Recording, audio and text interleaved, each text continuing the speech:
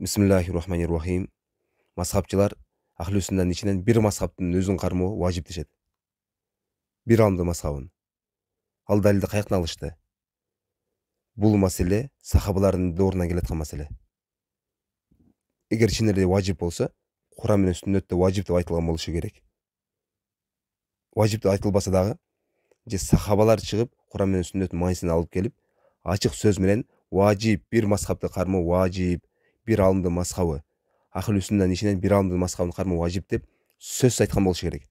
Эгер важип болгондо аны айтпай кетпейт.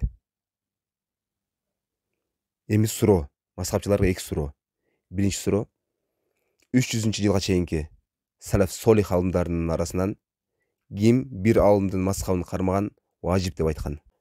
Экинчи суроо эгер мен сокур ээрчип туурабы туура эмеспи салаф солих аалымдарды ээрчие берем десем адашкан боломунбу бирок ар бир сөзүмдү салаф солих аалымдардан алган болом тандап отурбайм туурабы туура эмеспи териштирип отурбайм ала берем бирок илля ар бир сөзүм ошолордун сөзүнө дал келет ошолордон гана алам ошондо мен адашкан боломбу ушул эки суроого жооп беришсин эми ал учурда мазхаб болгон эмес болсо да жакшы өнүккөн эмес бүгүн бизде муктаждык бар деп айтса анда эмнеге болбогон нерсени чыгарып алдыңар дейбиз мына ушул нерсе жаңы пайда болгон нерсе бидат кадалып атат дейбиз ачык бидат дейбиз экинчиден жок дейбиз бул маселе ошол сахабалардын доорунан келаткан маселе мисалы абдуллах ибн масуддун радиаллаху анху өзүнүн мазхабы болгон ал куфада жашагандыктан анын мазхабы ошол жакта тараган анын шакирттери болгон алкома андан ибн сирин суфиян нахайлар окуп ошонун мазхабын кармашкан бизче айтканда ошо мазхабын кармашкан андан кийин абу ханифа дагы ошонун мазхабын кармаган ошонун мазхабынан илим алган себеби абу ханифа дагы куфада жашаган эле экинчиден ибн аббастын өзүнүн мазхабы болгон ал маккада жашаган анын шакирттери болгон табииндер ато икрима ибн мунаббих жана башка абдуллах ибн омардын өзүнүн мазхабы болгон ал мадинада жашаган анын шакирттери болгон нафи ибрахим нахаи тоус жана башка абдуллах ибн амр өзүнүн мазхабы болгон мисирде абдуллах ибн зубайр өзүнүн мазхабы болгон мына дал бүгүн биздегидей эле төрт төрт абдуллахтын өзүнүн мазхабы болгон алардын дагы шакирттери болгон бүгүнкүдөй эле мисалы абу ханифаныкы мухаммад ахмад ибн хамбалдыкы халлал имам шафидики музани деген сыяктуу эле алардын дагы шакирттери болгон өздөрүнүн мазхабы болгон мазхабынан илим алып шакирт болуп анын мазхабын тараткан өзүнүн шакирттери дагы болгон дал эле болгон бирок алар бизге көрсөтүп берген мазхабты кантип кармашты? Мисалы таус ибн хайсан улуу табииндердин бири рахимахуллах ибн аббастын шакирти болгон бирок ибн аббастын шакирти болуп ибн аббастын мазхабын кармаганына карабастан ибн умар ибн зубайрлардан дагы илим алып алардын дагы мазхабын окуган. Алардын дагы мазхабында болгон. Мына ушулар көрсөтүп берип атат бир мазхаб менен чектелиш керек деп айткан эмес алар кайсы табиин болбосун мисалы ибн сирин саид ибн жубайр саид ибн мусайяб шаби катада хасан. Кайсы табиин болбосун бир мазхаб менен чектелген эмес өзүнүн жеринде жашаган кайсы сахаба болсо ошонун мазхабын кармап мазхабын үйрөнүшкөн бирок андан дагы илимин өрчүтүү максатында башка сахабалардан барып алардын да мазхабын окуп келишкен. Мисалы абу ханифа жашаган жерде ибн масуддун мазхабы тараган экен. Абу ханифанын көп фатвалары ибн масуддан алынган бирок эмнеге ошол мазхаб менен чектелип калбады? Мисалы ханафи мазхабында абу ханифанын пикири анын далилдери келгенде баардык сахабалардын сөздөрүн алып келип анын эң күчтүүсү ушул далили күчтүү деп билем деп ошол далилдерге фатва берген. Кана бир мазхаб ибн масуддун мазхабы менен чектелебиз деген жери. Эмнеге башка сахабалардын дагы мазхабы менен чечим чыгарып атты? Же жаш кезинде мен бир мазхабты кармап турайын азыр алым боло элекмин деп эмнеге айтпады абу ханифа өзү мына имам шафи куфада жүргөндө өзүнүн мазхабы болгон кийин мысырга барганда аяктагы алымдардын сөздөрүн угуп далилдерин салыштырып кийин жарым фатваларынан кайткан көп фатваларын өзгөрткөн биздегилерге окшоп эми биздин алдымдар адашып калат беле деп айтпаптыр. Эмесе табииндерден илим алган эми табииндер барып алар адашып калат эле деп айтса болот эле да? Бирок чын эле баргандан кийин алардын адашып калганын көп ката фатва бергендерин түшүнүп жетти ошондуктан фатваларынан кайткан ойлорунан мына алым табиин болсо да адашат экен го эмнеге бухарийлер башка аалымдар илим изилдеп чыгып кетишти өзүнүн жеринен сапар кылып чыгып кетишти эмесе өзүнүн жеринде дагы күчтүү күчтүү аалымдар болгон ал учура жалаң аалымдар каерге барба куфагабы мадинабы басырагабы хорасанга барасыңбы мысырга барасыңбы каерде болсо дагы күчтүү табиин таба табииндер жүргөн күчтүү күчтүү аалымдар болгон муштахид мутлактар. Бирок ошо ошондо дагы булар адашып калышы мүмкүн деп мындан дагы көптү билишим керек. Ушул аалымдын каталарын башка аалымдардан билип андан кийин тууралайм деп ошентип чыгып кетишкен. Ал эми бүгүн бизде болсо чала молдолорду окуучуларды адашпайт деп атышат. Мына табииндердин жашоосуна карасак сахабалардын баарынын мазхабын кармап негизи эле мазхаб кармоо кандай болушун бизге амалы менен көрсөтүп беришкен. Ал жерде бир мазхаб менен чектелүү деген ал болгон эмес ал туура эмес деп билишкен. Алардан кийинки таба табииндерди карасак дагы мисалы исхак лайис аузаи мубарак суфиян малик төрт имам алардын баары өздөрү дагы бир мазхаб менен чектелбептир. Эми алар өздөрү бизге ошентип көрсөтүп берип атса алар баардык мазхабтарга кармап далилдерин ээрчиген экен. Алар ошентсе адашпайт экен анда биз бир мазхабтан чыгып төрт мазхабтын далилдерин ээрчисек баардык мазхабтарды ээрчисек анда кантип адашып калабыз алар адашпаган биз кантип адашабыз? Мисалы сахабалардан төрт абдуллахтын мазхабы белгилүү болуп кетсе эле төртөө башкаларга караганда эң илимдүү экен деген эмес башка илимдүү сахабалар дагы толтура болгон мисалы төрт хуляфай рошидин абу бакир осман умар али мусаб муаз заид каб абу хурайра анас. Көп сахабалар болгон муштахи сахабалар. Болгондо алардын шакирттери көп роль ойноп коюшкан жана башка халифтер мисалы колдогон болушу мүмкүн. Ошол сыяктуу бир канча себептер менен алардын мазхабтары белгилүү болуп кетти. Бүгүнкү төрт мазхабтын башчылары да ошондой эле болгон. Кыскасы түшүнүктүү эле болду. Мына төрт имамдын башына дагы бүгүнкү биздин башыбызга түшкөн маселе түшкөн экен. Мына төрт имам дагы башында биздей эле илимсиз болуп башташкан баары эле. Алар дагы төрт мазхаб болгон. Кеңири тараган төрт мазхаб болгон. Башка мазхаб башка сахабалардын мазхабына караганда төртөө белгилүү болгон. Бүгүнкүдөй эле болгон экен бирок ошого карабастан биз мазхаб тиги мазхаб деп айткан эмес алар. Себеби баары туура жолдогу мазхабтарбы баары сахабалар туура жолдобу демек баарыбыз бир эле мазхабпыз деп билишкен демек азыр каерде жүргөн болсоң кайсы мазхаб ошол жерде тараган болсо ошол мазхабты кармай бергин деген бул ката сөз. Анткени биз баарыбыз бир болгондон кийин ахли болгонубуздан кийин мазхабтарды аралаштырышыбыз керек. Илимди көбөйтүш керек момундар өсүш керек. Азыр биз тил мазхаб бул мазхаббыз биздин мазхаб сенин мазхабың деп айткан ошол айткан сөздүн өзү бидат. Ошол мазхабтарды кармаган табииндер биз абдуллахийбиз масудийбиз же аббасийбиз деп айтыштыбы биз бул мазхабтанбыз тиги мазхабтанбыз бул сахабанын мазхабын кармайбыз ошол сахабанын аты менен аталабыз деп ким айтты ошону? Жок биз пайгамбарды ээрчийбиз бир гана сүнний жамаатпыз сүннөттү ээрчиген пайгамбарды ээрчиген гана жамаатпыз деп айтышты го бүгүн биздеги жахил фанаттар болсо ханафийбиз деп туруп эми ханафийбизди айта беребиз ханафийбиз деген пайгамбарды ээрчийбиз дегенге ошол эле дал келет да ханафий пайгамбарды абу ханифа ээрчип атпайбы демек ханафийбиз деп койсок пайгамбар ээрчиген болобуз деп алар антпептир эмесе ошолор айтса жарашат эле да. Биз масудийбиз же аббасийбиз абдуллахийбиз деп койсо болот эле ал деген пайгамбарды ээрчийбиз сахабалар пайгамбарды ээрчийт да. Деп антип айтышкан эмес алар. Түздөн түз пайгамбарды ээрчийбиз суннийбиз деп токтошкон болду ахлу сүнна вал жамаабыз болду деп токтошкон өздөрүнө ат коюп чыккан эмес андыктан бир мазхабты кармаганда бизге муктаждык дагы жок муктаждык эгер чындап муктаждык деп айта турган болсок ошол учурда сараф солихтердин учурунда муктаждык болгон анткени бир аалымды издеп ысыкта бир айлап жөө жүргөн учурлар болгон ошондо үзүр берилсе болот эле бул кыйналып калды анын кудурети жетпей калды ансыз деле өзүнүн жеринде аалымдар бар ошо менен чектелип турса боло берет деп.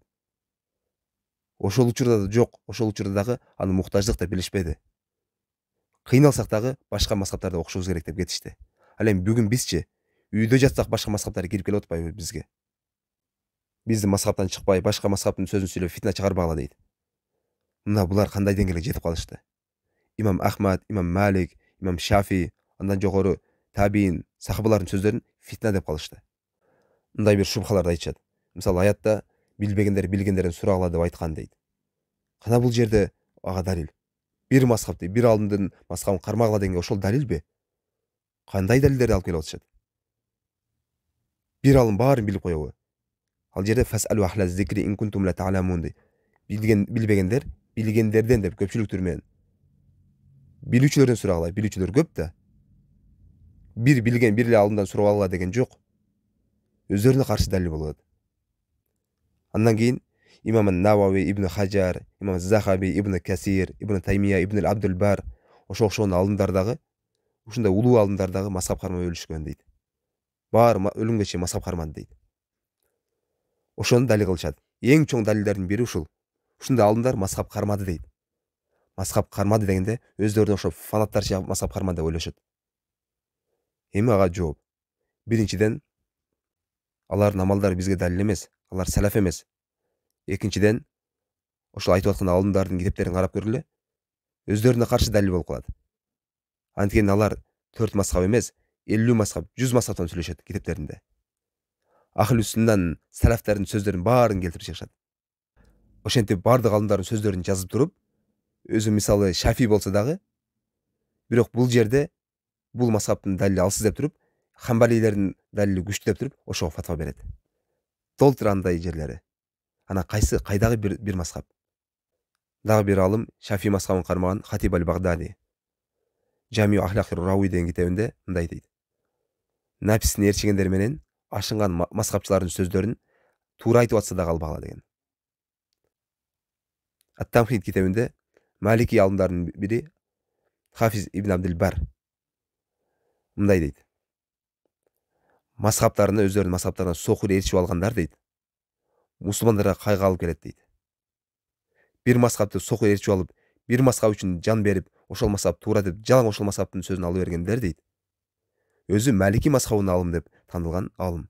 Ибн абдил бар мына өздөрү дагы мазхаб кармаган деп далил келтирип аткан алымдарыңар эмне деп атышат эгер бир мазхабты кармоо важип болгондо алар китептеринде башка мазхабты жазбайт эле да башка мазхабтын сөздөрүн туура деп айтпайт эле да мына өздөрү ачык айтып атышат бир мазхабты кармап туурабы туура эмеспи сокур ээрчип жалаң бир мазхабка жабышып алган бул адашуу үммөткө кайгы алып келет алардын сөздөрү туура болсо дагы албагыла деп айтып атышат мына силер үммөткө кайгы алып келдиңер фанаттар ал алдындарын дагы мазхаб кармаганы биздикиндей болгон эмес эмнеге бир мазхабка таандык кылып айтышкан анткени алар татаал маселелерде кайсыл мазхабты күчтүүрөөк деп билсе ошонун китептерине көбүрөөк басым жасап койгон. Ошондуктан эле чындыгына келгенде биздей эле кармашкан мазхабты баардык алымдардын сөздөрүн алып далилдердин күчтүүсүн алышкан. Китептер ачык көрсөтүп турбайбы? Ошондуктан бири бирине илим алып жүрө беришкен алар. Мисалы шафилерден захаби ибн касирлер ибн таймиядан илим алышкан. Ибн кайым ибн муфлихтер дагы мисалы ханафилерден абул айз ханафи. Башка мазхаб болсо дагы ахли суннабы болду бири бирине илим ала беришкен мисалы шафи мазхабын абу шама мактисиден хамбали мазхабы ибн кудама алган илим алып бер толтура мындай тарыхта баары бири бирине алып берген мурдагы эле түшүнгөн булар деле мындай жапайылык мазхабчылыкты суфилер чыгарган себеби алар суфилердин айтикатында өздөрүнүн алымдарын пайгамбар катары көрүп аулия деп алардын сөздөрүнө бир дагы каршы чыкпаш керек мазхабынан бир кадам дагы сыртка чыкпаш керек деген ушундай ишенимдери бар. Булар биздин ханафи мазхабты алымдар муунда көп чыгып бири биринин ката кемчиликтерин түздөп оңдоп мазхабты камил даражасына жеткирип койгон андыктан коркпой кармай бергиле деп айтышат антсек башка мазхабтар да ошентип эле айтышат камил даражасына жетсе эмнеге дагы эле сахих хадистерге каршы келген фатвалар көп? Эмнеге анда башка мазхабтар төрт мазхабты бири бирине каршы келген жерлери бар? Эмнеге ихтиляф болуп атат эң туура даражага жеткирип койгон болсо анда талаш болбош керек эле да. Баары суннага дал келип калган болуш керек эле. Жок дагы эле каталары көп камил даражасына жеткен эмес. Андыктан баары далилдерине карап салыштырып чыккан туура келет.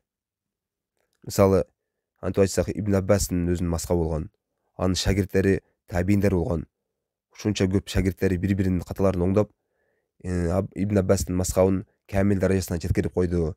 Болду ибн аббастын мазхабы эле жетет деп айткан жок да. Ал менен дагы эле шектелбей калды го. Айтса ошолор айтса болот эле.